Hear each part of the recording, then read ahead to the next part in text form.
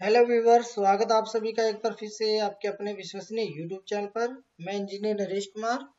आप सभी का बहुत बहुत स्वागत करता हूँ। तो साथ ही एक और जो बड़ी अपडेट आ रही है, बिहार स्टेट से आ रही है तो ये अखबार के अंदर जो है न्यूज़ आई है।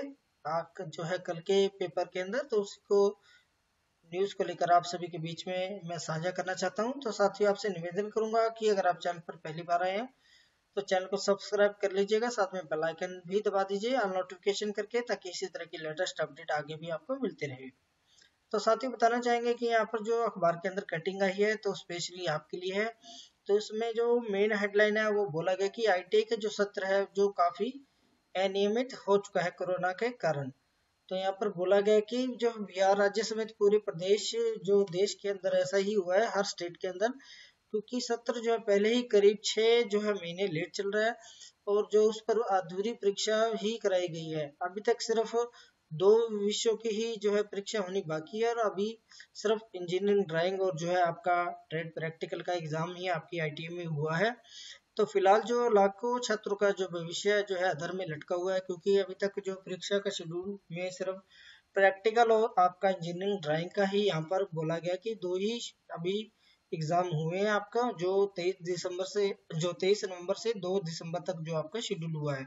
और बाकी जो आपके एग्ज़ाम होने हैं, जो सीबीटी होने हैं तो उनका यहाँ पर बोला गया कि जो सीबीटी एग्ज़ाम होने थे, उन पेपर का जो अभी कोई भी अता पता नहीं है कि कब होगी। और ये बिल्कुल सही है, क्योंकि अभी डीएसटी के द्वारा ऐसा कोई भी जो लेटर या नोटिस जारी नहीं हुआ है कि सीबीटी एग्ज़ाम कब होंगे, क्योंकि सीबीटी एग्ज़ाम लेने से पहले साथियों आपकी सीबीटी फ़ीस भी जमा करवाई जाएगी ऑनलाइन पोर्टल के माध्यम से। तो अभी ऐसा कोई भी फ़ीस के रिगार्डिंग भी कोई लेटर जारी नहीं हुआ है। तो अभी फ़िलहाल कहना मुश्किल होगा कि आपके जो है सीबीटी एग्ज़ाम कब तक होंगे।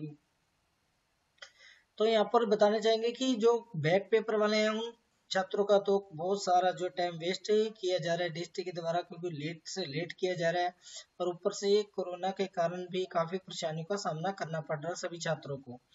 तो लाखों जो छात्र आई कर रहे हैं, उनका जो भविष्य है, अधर में ही लटका हुआ है। दो पेपर तो ले लिए हैं।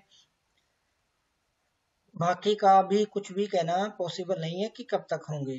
तो यहाँ पर जो प्राइवेट आई जो संघ है, यहाँ पर राइट में देख सकते हैं बिहार राज्य की। तो उन्होंने भी डिस्ट्रिक्ट को पत्र लिखा है कि परीक्षा केंद्र उनकी स्वयं की आईटीआई को ही बनाने का जो है, यहाँ पर बोला गया है कि खुद की आई के अंदर ही आपके एग्ज़ाम करवाए जाए सीबीटी और जो है दिसंबर माह में ही जो है करवाने का यहाँ पर बोला गया है। ये देख सकते हैं, केंद्र सरकार को बाकी बचे दो पेपर को दिसंबर में ही करवाने का जो है पत्र लिखा गया है, जो कि काफ़ी अच्छी जो है बात है। प्राइवेट एसोसिएशन ने जो है डिस्ट्रिक्ट को लिखा है, क्योंकि बहुत ज़्यादा साथियों, मैं खुद फील कर रहा हूँ कि आपको काफ़ी परेशानियों का सामना करना पड़ रहा है।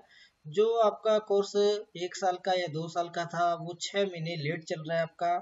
तो जो वैकेंसी वगैरह है वो सारी निकल रही हैं आपके हाथ से तो काफ़ी नुकसान भी हो रहा है आपका, लेकिन जो है कोरोना संकट में जो है काफ़ी परेशानी हो रही है आपको सभी को।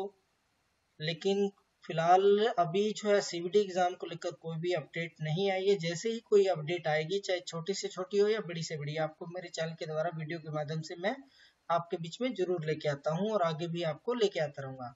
तो आपसे निवेदन करूँगा कि अगर आपने चैनल को सब्सक्राइब नहीं किया तो कर लीजिए, ताकि इसी तरह की लेटेस्ट अपडेट आगे भी आपको मेरे चैनल के द्वारा मिलती रहे। और साथियों निवेदन करूँगा कि वीडियो को लाइक ज़रूर कीजिएगा और शेयर करना ना भूलिएगा, क्योंकि मैं, मेरा मकसद ये कि आई के जितने भी छात्र हैं, उन सभी को हर एक सूचना मिले और हर एक सूचना से जो अपडेट रहे कि क्या आपके लिए चल रहा है इस वक्त। तो हर एक अपडेट से आपको जो है अपडेट करवाना ही मेरा काम है। और जो भी अपडेट आती है लगभग मैं प्रूफ के साथ ही आपको बात बताता हूँ। तो साथियों, चैनल के साथ बने रहिए, अपना प्यार बनाए रखेगा मिलेंगे अपनी नेक्स्ट वीडियो में एक लेटेस्ट अपडेट के साथ।